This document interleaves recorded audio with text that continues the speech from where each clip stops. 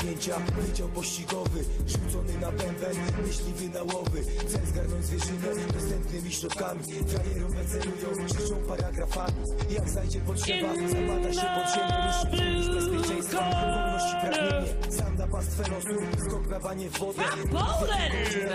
Żywota wiodę, on pokaże szlaki Jak unikać wymiaru Znamy mu się wstawić, nie miał zamiaru Zrywa wszelkie kontakty, ciszy nie wkracza Nie będzie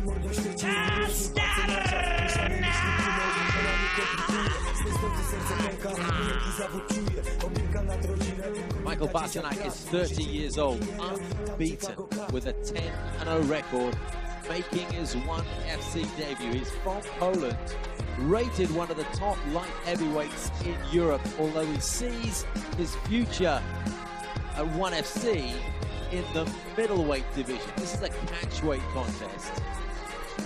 Facing, we think, probably a major step up compared to the opposition he's faced so far. Six of his ten wins have come inside the distance, so that's impressive, whichever way you look at it. And three of them by punches, three of them by submission. So appears able to finish a contest in all ways one. Yeah, he talked about how well-rounded he was uh, during the week when I uh, had a chance to sit down and talk with him. 10 and 0, he made a big deal about him being 10 and 0 and how uh, this is just another stepping stone towards the title. And so, look for him to come out here and show that he's well-rounded, put on a great show, finish it in, in incredible fashion, and probably even make a call out. I mean, it's his debut, but he seems like he's uh, definitely not short of the confidence level. Let me just say it that way.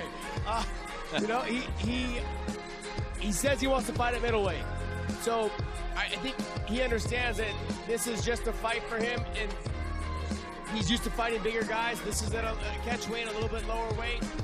Once he gets through with this, he's going to see the rest of his career at middleweight, and he'll eventually try to hold the uh, the one FC belt. What does it mean coming down from a light heavyweight to middleweight? Do you have to be quicker? Do you lose a little bit of strength? You know, I think you lose a little bit of size. You, you, you probably lose a little bit of strength. I mean, Rich would probably answer that question a little bit better than me since, uh, you know, he is a little heavier.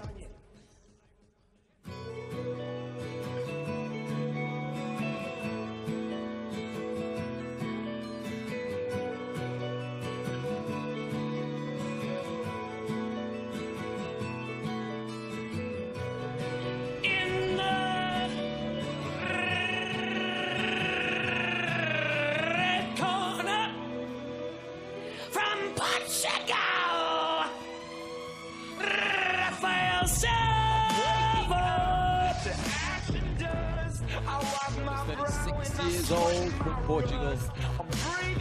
Massive. 53 professional fights. And an impressive record amongst all those. 39 wins, 14 losses. It's his second 1FC contest. 21 submission wins to his name. He really pushed Tatsuya Mizuno all the way in his only 1FC fight to date. That was back in October of 2013. He's a southpaw, so it will be tricky for anyone. But we talk about Michael Pasternak being 10 0, unbeaten, coming into the 1FC cage, perhaps therefore facing a step up in class against the man who has 53 fights at 36 years old. This is your step up in class. We're going to get back to Rich answering that question because this actually feeds into it. What I'm about to say is he is a smaller middleweight. And so he's kind of someone who should be fighting at 170. He cut down a little bit of weight, or he lost a little bit of weight. Whereas you have Pasternak who's coming, wants to go down to middleweight. Kind of make the, they kind of differentiate between the two things and how it'll affect them in this fight.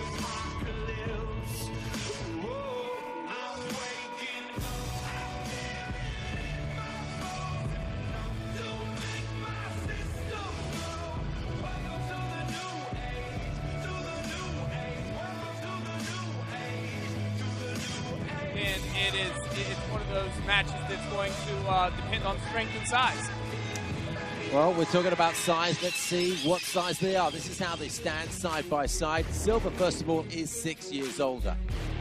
You can see there's a little bit of a difference in weight. Pasternak slightly heavier there, coming down from light heavy, remember, and quite a bit taller, 12 centimeters taller, in fact.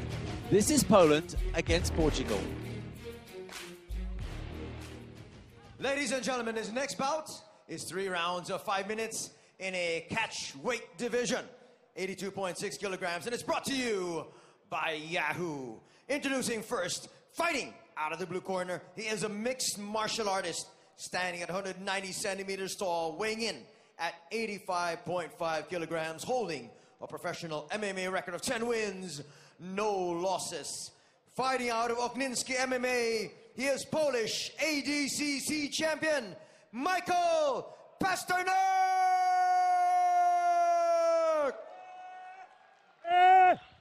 And now introducing his opponent, fighting out of the red corner. This man is a freestyle fighter, standing at 178 centimeters tall, weighing in at 84.9 kilograms, holding a professional MMA record of 39 wins, 14 losses. Fighting out of RS Team, representing Portugal, WUFC champion of the world, Rafael the Machine Silva!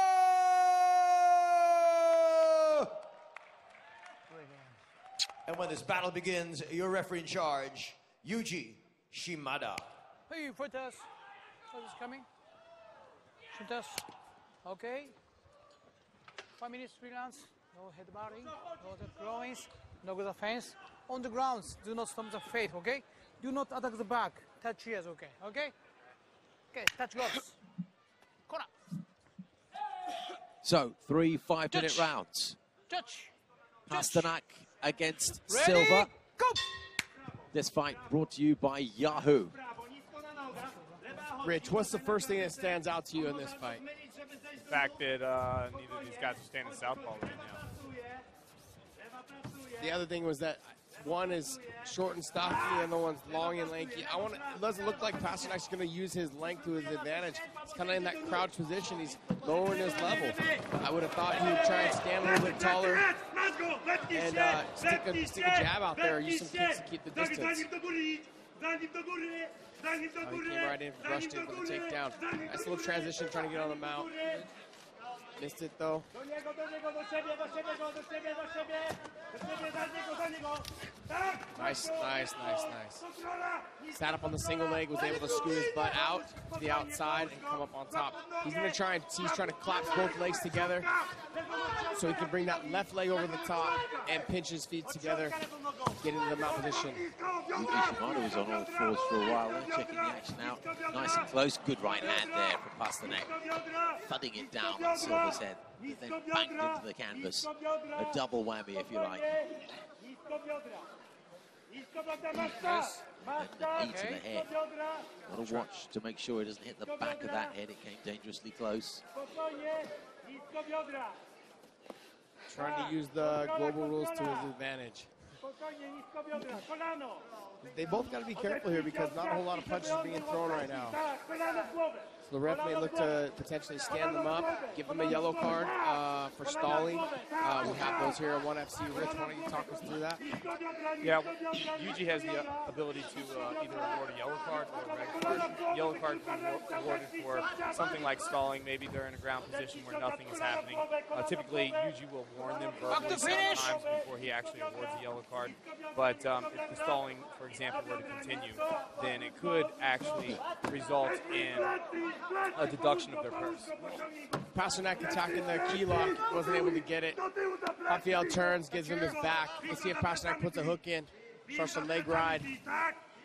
Speaking almost as much as you, Josh, is Pasternak's corner man, who's just non-stop since the start of this fight. You may be able to pick it up on our mics. Pasternak couldn't get a word in edgewise when I was doing the interview with him the other day. His, his corner was talking uh, more than he was. So you could tell that Pasternak was confident in his abilities. He didn't really have much to say, uh, but his corners had a lot to say, you know, on boasting on, on how good he is. We've got to get him into our commentary booth at some stage. That's going to fill some air, I'll tell you that much. Over halfway through this first round, 2.13 left. Javier needs to bring that left arm up underneath the chin, frame him away, frame his face away, dig that underhook. It looks like he's pretty uncomfortable on the on his back right now. Um, he should be looking to put that underhook. and um, kind of scoot his hips out on the left, come up on that single leg. Doesn't look to be working for that at all. He's uh, content with just being on his back. He needs to separate himself from the chest to chest position. Rafael does.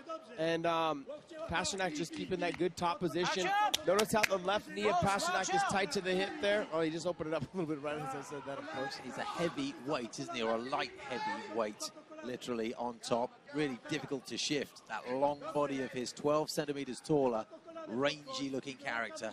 This is where I think you see the difference where I feel that Rafael is a 170, 170 pounder or, you know, it needs to be at the lighter weight. Uh, Pasternak's used to dealing with bigger guys, and it's showing right now how he's dominating the top position. Rafael needs to put his hands on those hips, try and make space. He's just holding from the bottom. Not a, you're never going to get away from there, and potentially could lead to a referee stoppage if you take too many too many strikes that are uh, you're not defending yourself. Silva is taking strikes, particularly heavy. He's defending himself reasonably well. Those blows are glancing and there's some, but it's the forearms and the elbows that tend to do more damage than the punches, even in that top-down position. Nice elbows right there. Those are the elbows that are going to get the refs to stop. 30 seconds. Big, big elbows. The question is, does Yuji let this go to the end of the round? Technically, he should stop it just whenever he thinks it should be stopped, but there's 20 seconds left. Can Silva ride this one out? He's not throwing punches back, but he's covering up fairly well, particularly from the straight punch. Not so much from those punches coming in from the side. You can't protect yourself from all punches, of course. He'll see the round out, but my goodness, he's taken some abuse in that final minute goes crazy. He was just about to escape right before the bell. Rafael gets up with a smile on his face, though. But uh, I wouldn't be smiling too much. Those are some pretty vicious elbows that landed. I don't think I'd be smiling too after all that. There. Look at this abuse that came down. But take a look at how many of them actually landed heavily. I think Silva was actually defending himself pretty intelligently there. Good use of his forearms to block the straight punches. You can look for Pasternak to probably come out and really do the same thing he did. Get the takedown and dominate top. I think he just realized that has some sort of on the ground, and he's going to probably look to get the takedown right away. They had talked about the game plan was to kind of stand, but as soon as they got to the clinch, he was able to get him down. And now he knows.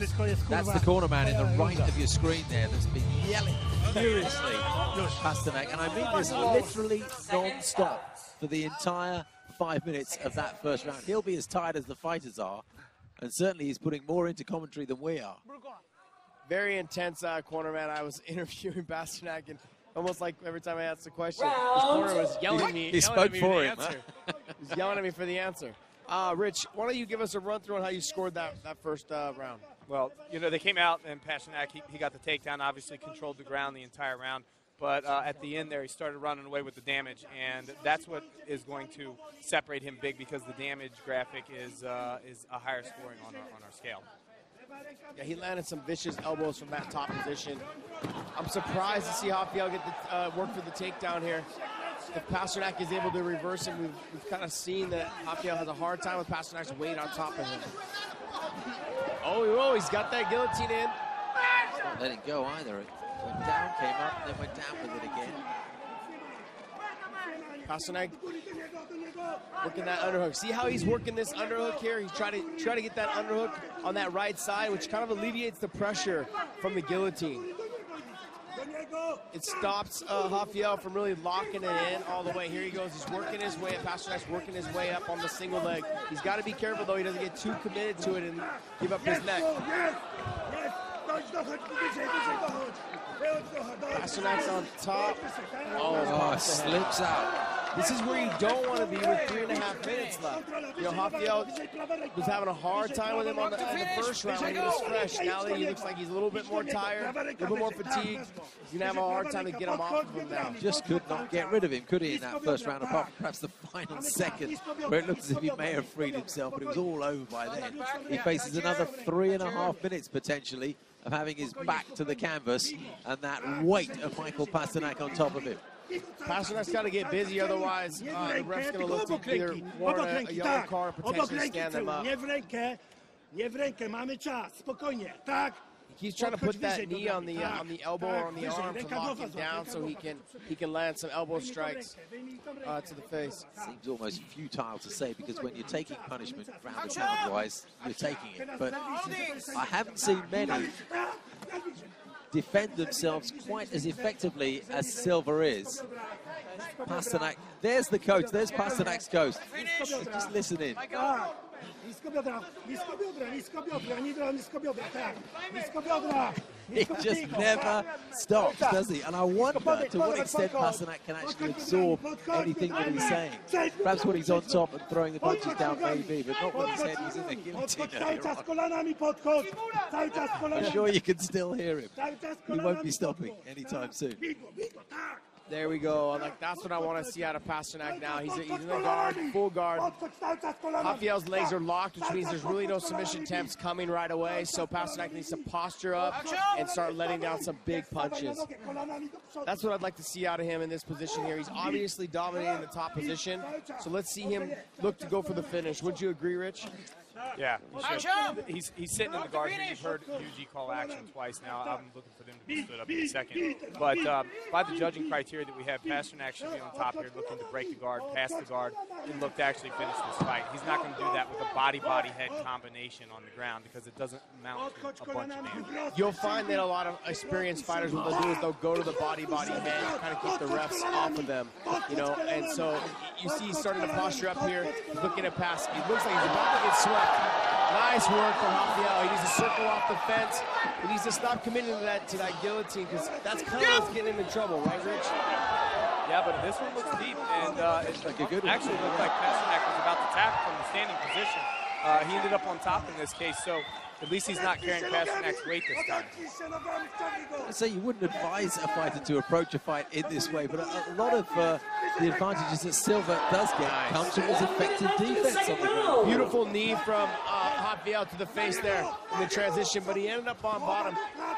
You know what, though? He's going for the submissions, and that's what we want to see here at 1FC.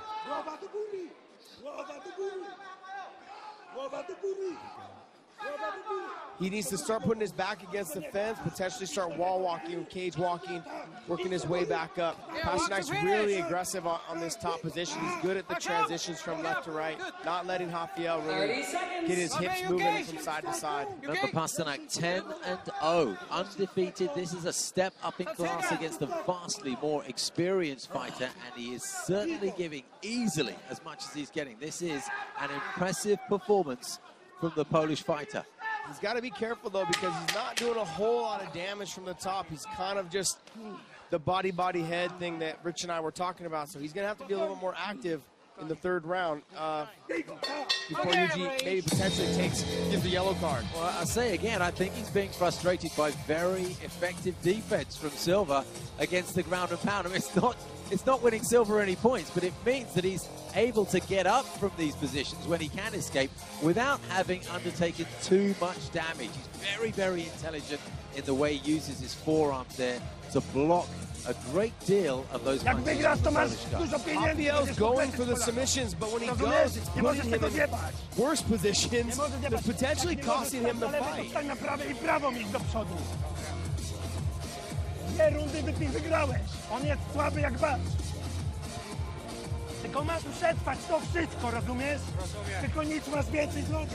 Well, the Pole getting a few words of advice, a few of many come his way over the course of the past 10 minutes or so. The final five minutes is upon us.